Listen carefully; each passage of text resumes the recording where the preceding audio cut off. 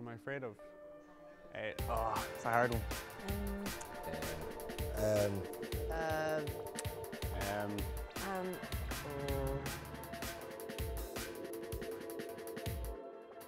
Uh, my biggest fear would be um, heights, maybe. Um, I think I'm afraid of dying in a plane crash. Dying in a plane crash. Probably, yeah, because I hate flying. Or not dying in a plane crash if the plane crashed and if I was just sitting there suffering like on a desert island. Um, death, because I don't want to die.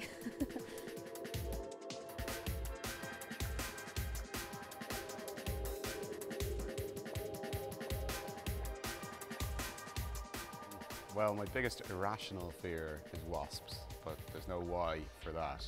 Uh, so I think my biggest rational fear is probably losing my hearing because I work with sound.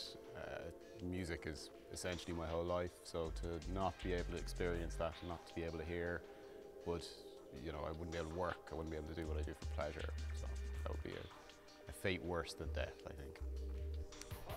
Probably assignments, because uh, I always leave in the last minute, and then next thing you know, it's just just gather up. So that's that's my worst fear. It should be to be alone in an island with nobody.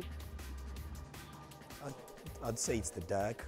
Um, reason being that I don't know what's surrounding me, I don't know what's behind me, I don't know what's gonna come and catch me. So basically, I think that's the only time when I'm, I'm not really comfortable with myself.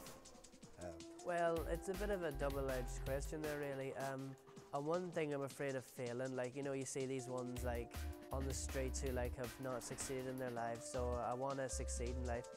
And then my other biggest fear is spiders. Like even just watching the movie, like, ooh, Jesus. Like, oh, I hate them. I know it's bad luck to kill them, but I hate them. Yeah, well, I think it's losing the people you know or you love.